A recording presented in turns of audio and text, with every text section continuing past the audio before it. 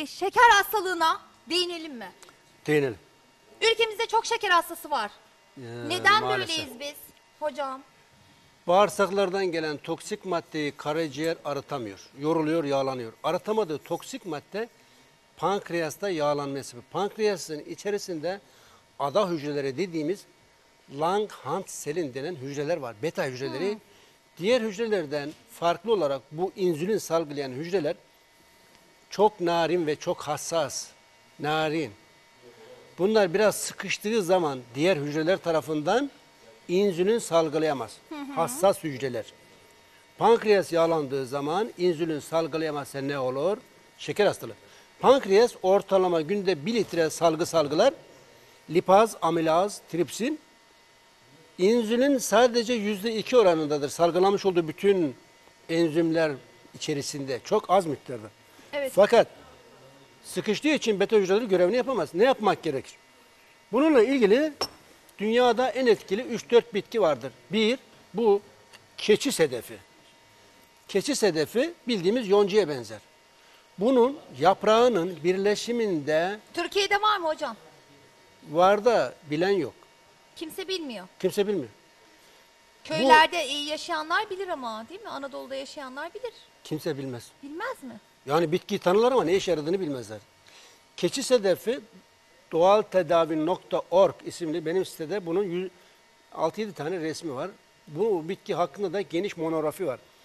Alman asıllı iki profesör doktor, Profesör Doktor Rheinwein, Profesör Doktor Müller, keçi sedefiyle ilgili yapmış oldukları klinik araştırmada keçi sedefinin birleşimindeki guanidin denen etken maddenin aynı insülin gibi etki yaptığını fakat yan etkisinin olmadığını belgelemişlerdir.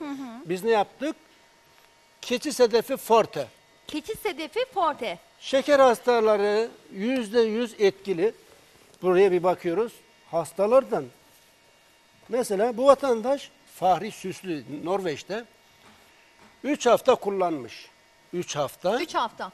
Bu vatandaşta ne var? Gösterelim mi hocam Diyor ki raporları? "F- ben Fahri Süslü 3 hafta iksir, aloe vera jel, alaç forte, enginar forte, huş forte, böbrek çayı, böbrek taşı çayı, kolesterol çayı kullandım. 3 hafta içerisinde trigliseriti 349'dan 125'e düşmüş. Trigliseriti. Böbrekteki taş düşmüş. Efendim İbrahim Bey'e saygılar, sonsuz saygılar vesaire diyor. E, aynı zamanda şekerinde düşmüş.